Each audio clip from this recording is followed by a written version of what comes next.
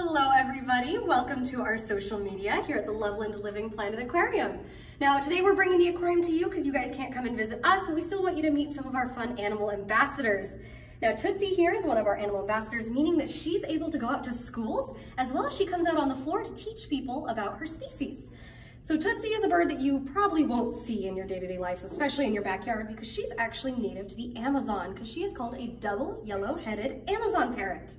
She is a little distracted at the moment because she hears a lot of noises. And that's one of her amazing adaptations that she has. So what I'm gonna talk about is some of those amazing adaptations.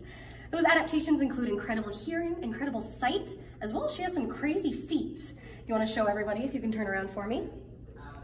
You got this.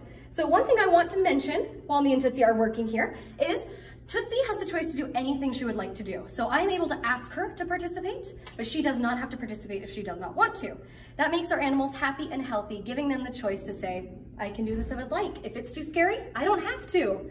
So Tootsie, sometimes you can see maybe she's not fully in the zone to do one of her behaviors, but eventually she usually does it, but I only will ask her three times. So let's see if she'll do one of her behaviors and say hi to all of you guys.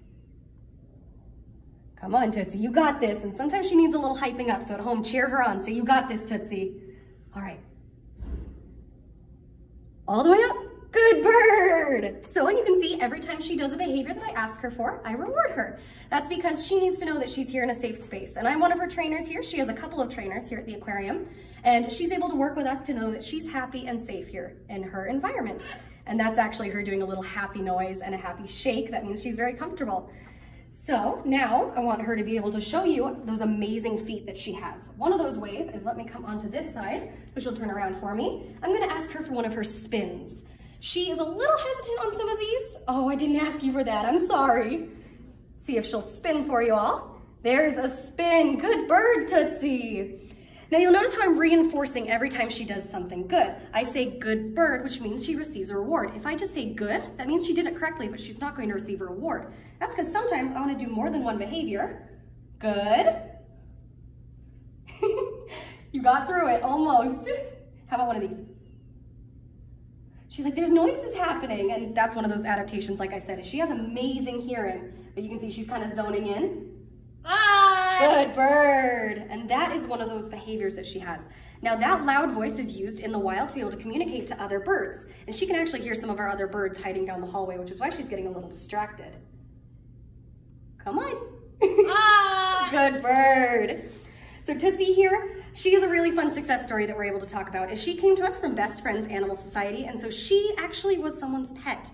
And she wasn't that well taken care of, which unfortunately is a lot of the time what happens with birds. Come on. so a lot of the time people will get birds because they're pretty and because they look really cool and they think that they'd be a fun pet. But in reality, they're very noisy, they're loud, they destroy things, and they can bite. And so she was actually given up to Best Friends Animal Society and came here to us where she can have a very good life.